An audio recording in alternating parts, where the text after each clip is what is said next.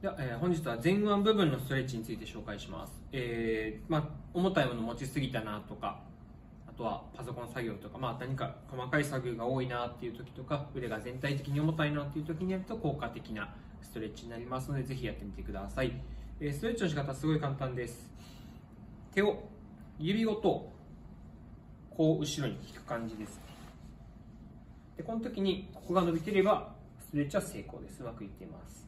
この時に手首が痛いとかがあったら中止していただいて伸びるなっていうところでまあ20秒ぐらいキープで大丈夫です。一番伸びるなっていうところ20秒キープ。反対側も同様ですね。こういうふうに。この時に手のひらじゃなくって指を巻き込んであげる方指からこう引いてあげる方がストレッチ感はタイトにかかります。指巻き込んで指が痛い場合はも手のひらでも大丈夫なんですけど、まあ、こっちの方が効果的だと思ってください。そこは症状に合わせてやっていただければと思います。あとは反対側もですね、えーこちら側を伸ばす場合は、この輪骨のこの部分を後ろに、こう、後ろというか手のひら側にこう倒していただく。